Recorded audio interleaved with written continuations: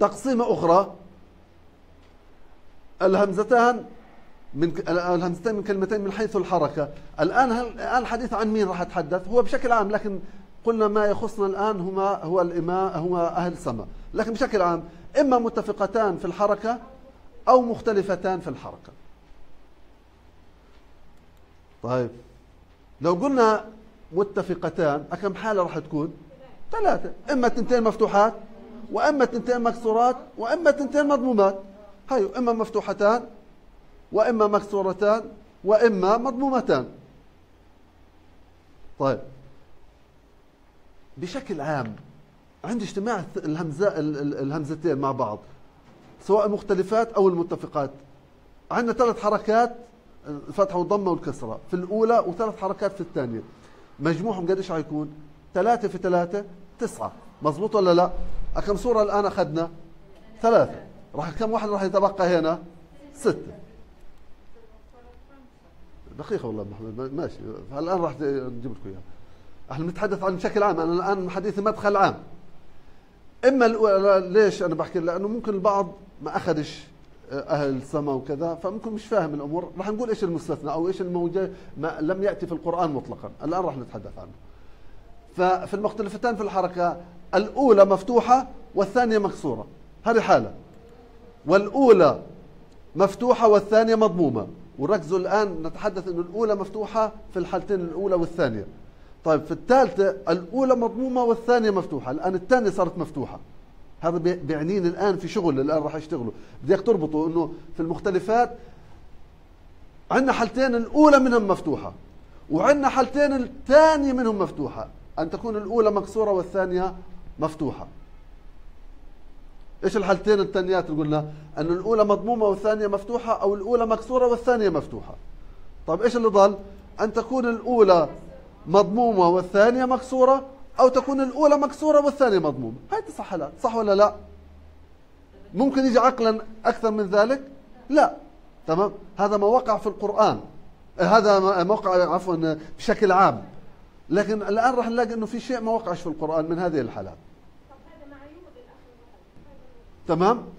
طيب نلاحظ هنا أنه الأولى والثانية الحالة الأولى والثانية الهمزة الأولى مفتوحة.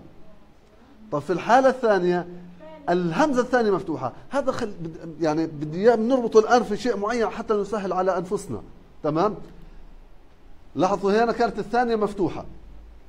طب في الحالة الخامسة والسادسة لا توجد المفتوحة فيش لا في الأولى ولا في الثانية. وسوف نلاحظ أو بعملية استقراء نجد أنه لا يوجد في القرآن همزة مكسورة وبعدها مضمومة. فيش في القرآن. لا يوجد. إذا الخمس حالات الأولى هذه وقعت في القرآن والثلاثة هذيك الثلاثة في المتفقات وقعوا أيضا في القرآن. لكن أن تكون الأولى مكسورة والثانية مضمومة لم تقع في القرآن. إذا مجموع الصور اللي وقع عندك من سورة في القرآن ثمانية بشكل عام. ثمانية. هذا بنرجع بنقول لسه مدخل.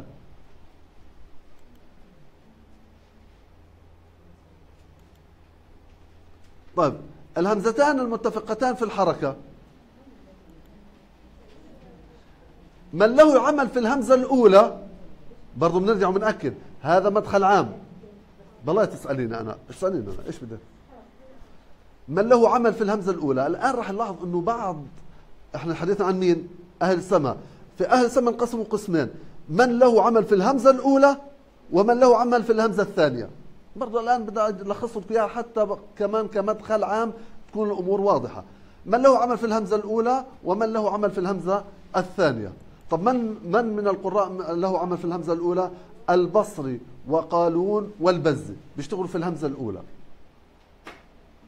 تمام؟ ومن له عمل في الهمزة الثانية ورش وقنبل. هي أهل السماء كلهم. تمام؟ طب مين لاحظت ملاحظة في ترتيب الأسماء أو في وجود الأسماء هنا ووجود الأسماء هنا؟ ماشي نافع انقسم قسمين. طب في شيء أنا ممكن أربطه كمان حتى أبقى متذكر هذا الأمر بعد 10 20 سنة؟ ممكن أتذكر هذا بدون ما حتى ما أرجع. لاحظوا في الهمزة الأولى من من القراء عند نافع الأول؟ قالون. أول في في الرواة له عمل في الأولى. ومن من القراء عند ابن كثير من الرواة عند ابن كثير الأول البزة إذا من له عمل في الهمزة الأولى؟ قالون. الراوي الأول عند نافع والراوي الأول عند ابن كثير. هذا بتربطوها كمان. أنا بحب الربط الأمور هذه.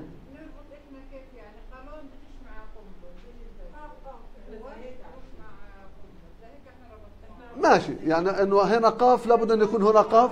ماشي. لكن العلماء برضو ومشايخنا جزاهم الله خير كانوا يربطون أحيانا بعض الأمور زي هذا. فقالوا إنه الأول عند قالون الأول عند نافع والأول عند ابن كثير لهم عمل في الهمزة الأولى أول أولى.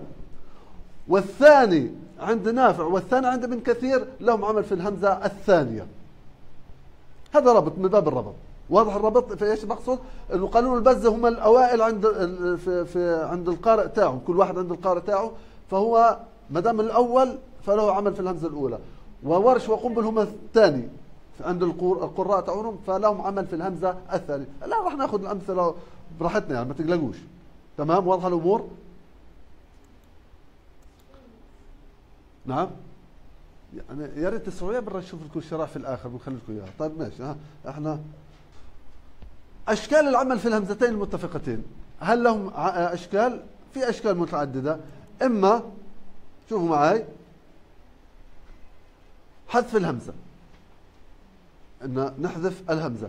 أو لهم عمل في تسهيل الهمزة العمل تاعهم في تسهيل الهمزة. أو إبدال الهمزة حرف مد محض. أو إبدالها حرف مد متحرك. والآن برضه راح ناخذ ال ال ال أنا كما كما قلت الآن كمدخل عام. إيش أشكال العمل في الهمزتين المتفقات؟ أربعة.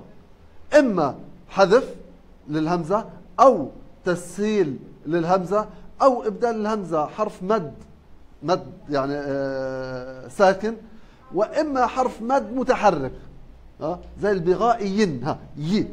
تمام؟ الآن راح ناخذ الأمثلة. نعم؟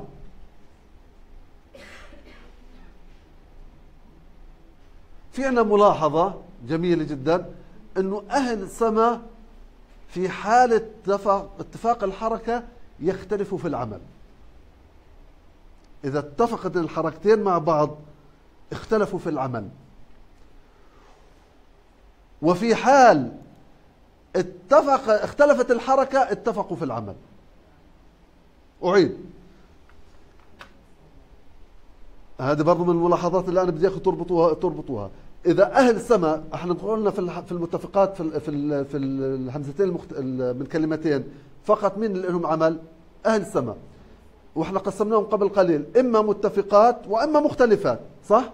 قلنا المتفقات ثلاث حالات أشكال والمختلفات خمسة الموجود في القرآن فقالوا العلماء إذا اتفقوا الهمزتين في الحركة اختلف عمل أهل السماء مش راح نلاقي آه، اتفاق بيناتهم. راح نلاقي إنه راح نقول لك الآن ورش وقنبل لهم شغل وقالون البز له عمل. إذا في اختلاف.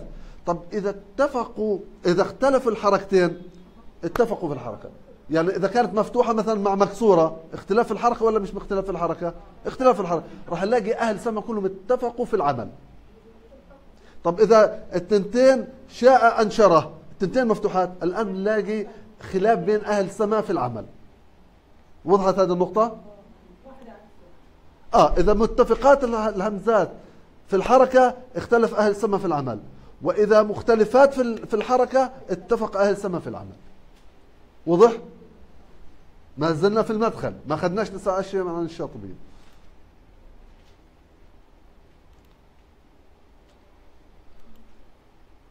طيب إذا كان الهمزتان متفقتان في الحركة آه، طبعا إما مفتوحتان نحو جاء أمرنا وإما مكسورات زي في السماء إله وإما مضمومتان زي أولياء أولئك وهذا في شيء ثاني في القرآن.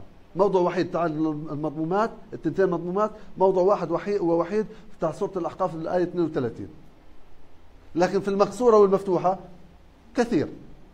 طيب إذا إما مفتوحتان أو مضمومتان أو مكسورتان.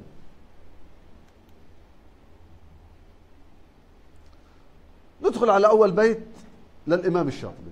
المدخل في حد له آه، سؤال فيه ولا الأمور واضحة؟ والآن راح توضح الأمور أكثر مع الشرح بإذن الله.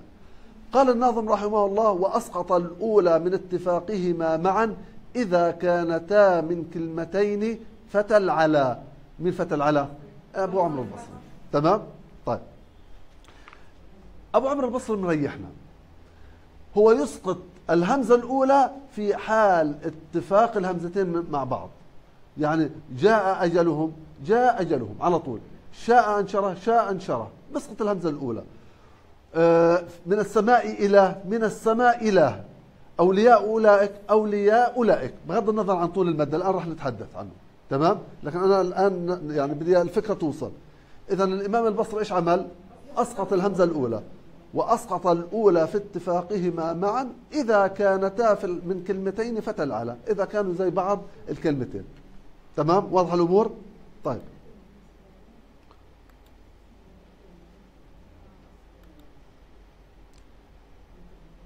جاء أجلهم. كيف راح تقرأ الإمام البصري؟ جاء أجلهم. دقيقة بس.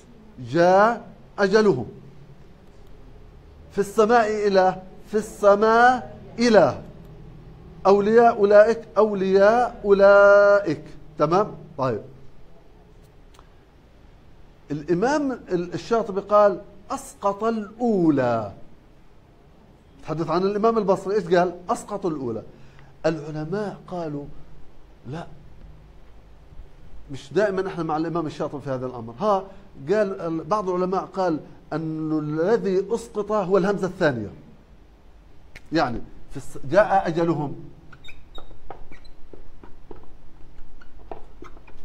إما أن نقول جاء أجلهم حسب كلام الشاطبي أو جاء أجلهم إما أسقطت الأولى البعض قال هكذا وإما أسقطت الثانية. لكن الإمام الشاطبي إيش أخذ؟ أن الأولى هي اللي ساقطة. طب هل هذا بفيدني؟ نقول نعم بفيدني. بفيدني شوي. بفيدني في معرفة كم مقدار المد اللي راح أمده. تمام؟ إذا أنا اتبعت منهج هذا لعمل في مقدار المد وإذا اتبعت هذا المنهج آه، لعمل. طيب بناء على قبل ما ندخل على مقدار المد بناء على إيش قال العلماء؟ إنه هذه الهمزة هذه الهمزة هنا المحذوفة كالإمام الشاطبي وبعض العلماء قالوا لا الثانية المحذوفة. بناء على إيش؟ بناء على أنه قالوا ال الذي دائما له لنا عمل في الحرف الأخير من الكلمة في الغالب. دائما يكون الحرف الأخير في الكلمة. وهذا راح نلاقيه عند الإمام مثلا آه، حمزة في الوقف على نهاية الكلم. إذا كان وهشام إذا كان الهمزة متطرفة. إذا دائما العمل في الهمزات في الهمزة المتطرفة. وهذه هي متطرفة إذا حذفنا الأولى. هذه الحجة تاعتهم وما الحجة أنه الهمزة الثانية هي المحذوفة؟ قال عند اجتماع الهمزتين. وجود الهمزة الثانية هو اللي عمل لي ثقل فأنا بدي أحذف الثانية. تمام؟ طيب هل بيننا أنا الخلاف كثير؟ مش كثير معنى في معني أنا في مقدار المد. إذا حذفت الأولى أنا لمن أتحدث الآن؟ للبصري. صح؟ البصري عنده السوسي والدوري. بشكل عام خلينا نتحدث عن السوسة عنده المنفصل والمتصل. المنفصل قديش عدد مقدار المد اثنين. والمتصل أربعة. طب الدوري عنده المنفصل والمتصل. المتصل أربعة. طب المنفصل إما اثنين وإما أربعة. أخذناه. صح ولا لا؟ طيب إذا كانت هكذا فأصبحت شبيهة بالمد الجائز المنفصل. عند الإمام السوسي قديش راح أمدها؟ اثنين. وعند الإمام الدوري راح أمدها اثنين أو أربعة. صح؟ شبيهة بالمنفصل. طيب وإذا كانت هكذا قديش راح أمدها؟ سواء عند السوسة أو عند الدوري أربعة. لأنه مد متصل صح؟ واضحة الأمور؟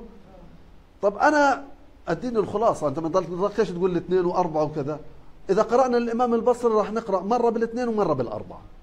هذا خلاصة الأمر. لكن أنا حاب تفهموا لماذا قرأنا هكذا أو كذا. إذا أنا لو بدي أقرأ الآن بشكل عملي لو بدي أقرأ للإمام البصري سواء الدوري أو السوسي قديش راح أقرأ له؟ مرة بالاثنين ومرة بالأربع في هذه الأمثلة. لكن إحنا بنتحدث في الأصل لماذا صار اثنين ولماذا الأربعة بناء على هذا؟ واضح الأمور؟ طيب. العمل والمشهور راح نمشي على كلام الشاطبي إنه الأولى هي المحذوفة. تمام؟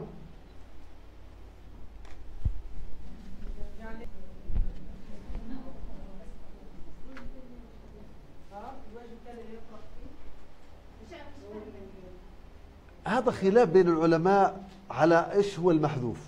لكن أنا في النهاية إلي إلي لب الكلام. إيش العمل أو على ماذا نعمل؟ راح نشتغل على على الأمرين إما بالاثنين وإما بالأربعة. طبعا المقدم راح يكون الاثنين.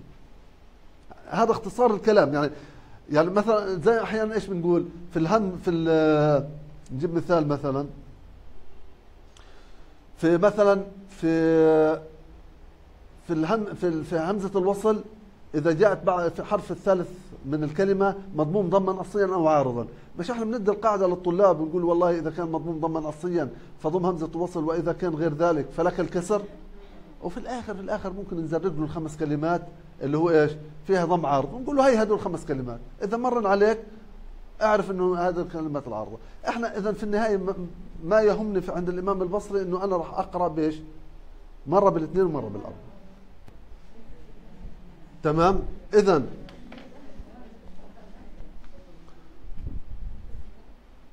خلاصة الأمر في جاء أجلهم وما شابه ذلك من أمثلة لي عند للإمام البصري القصر والتوسط سواء الإمام السوسي أو الإمام الدوري هذا اختصار الأمر. وهذا كما تحدث قبل قليل إيش التفصيل تاعه. واضح الأمور؟ مين بدأ أعيد؟ تمام؟ طيب في السماء إله في السماء إله أو في السماء إله. أولياء أولئك أولياء أولئك أو آه، عفوا أولياء أولئك أو أولياء أولئك. قصر توصل حديث عن الألف الأولى اللي هي أولئك هذه مد متصل ما ليش دخل فيها؟ أربع حركات أنا متحدث هنا. تحذف الهمزة الأولى أو الثانية على خلاف بين العلماء لكن في كل الأحوال إلي المد والقصر أو القصر والمد.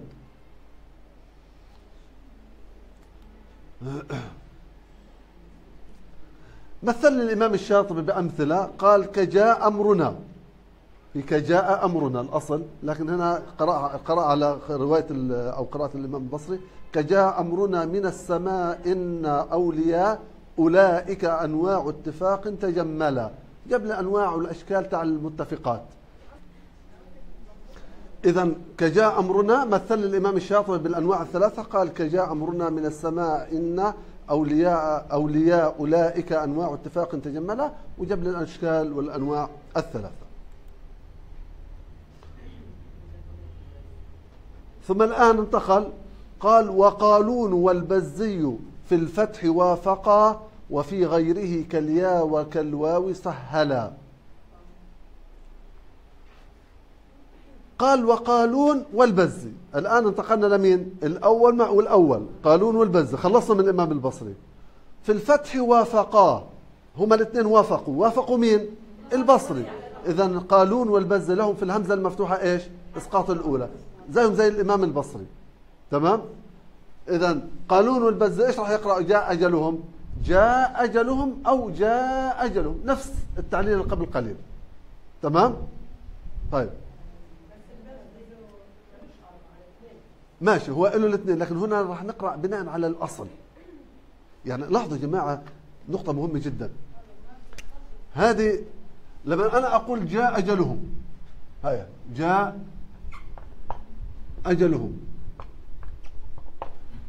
مش الهمزة اللي هنا أنا حذفتها؟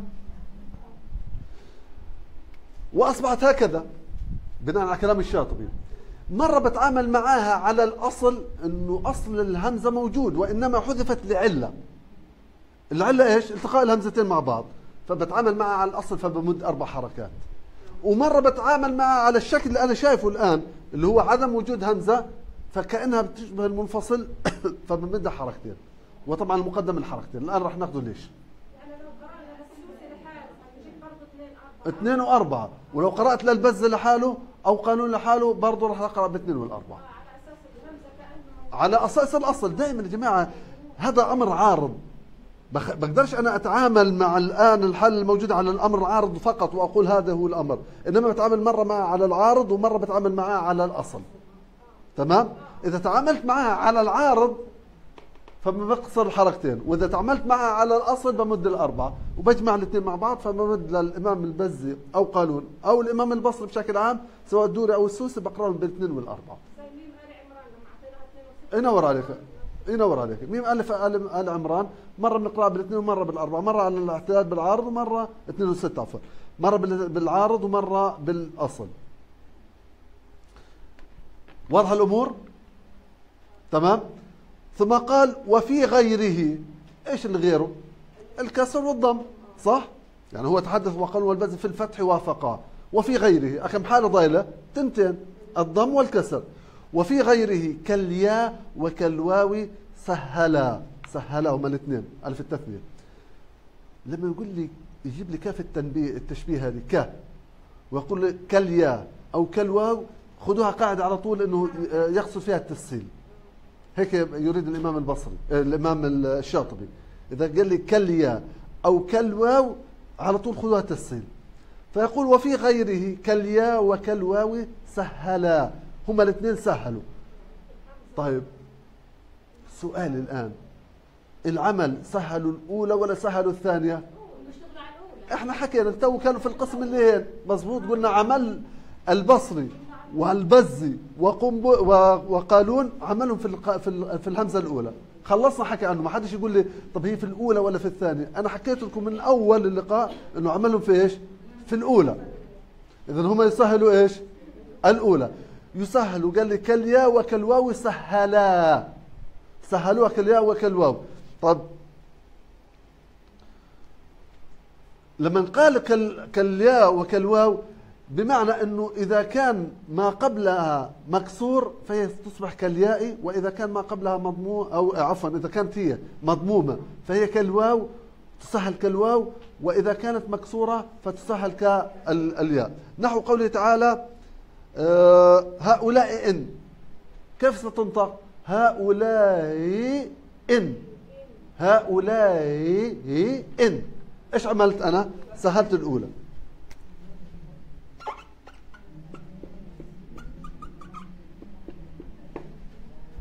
فأصبحت هذه الهمزة ما بين الهمزة وحرف الياء.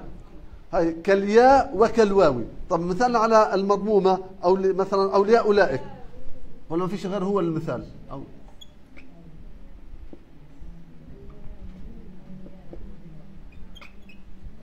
أولياء أولئك. أولياء أولئك. أولي خليكم إن شاء الله في نهاية اللقاء المحاضرة نمر عليهم ذكروني.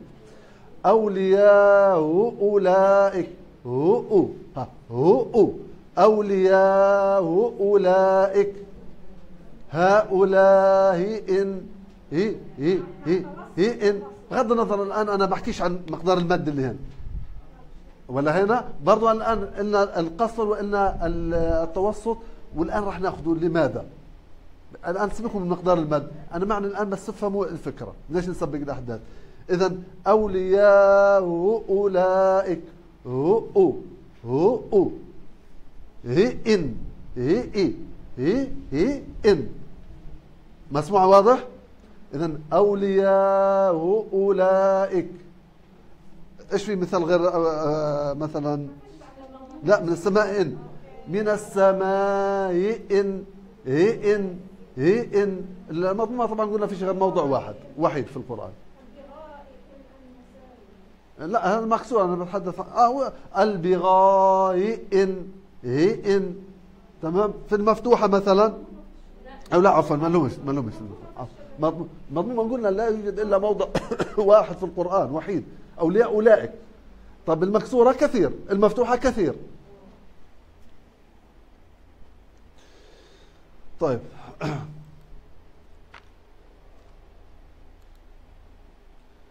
إذا الهمزتان المتفقتان لقالون والبزي المفتوحتان إيش إله؟ طبعا إنه آه، آه، قسم إما المفتوحتان أو المكسورتان والمضمومتان ال- هذول قسم ثاني حذف الهمزة الأولى. لقالون والبزي في المفتوحتان وافقوا الإمام البصري فحذف الهمزة الأولى. وفي المكسورتان والمضمومتان تسهيل الهمزة الأولى.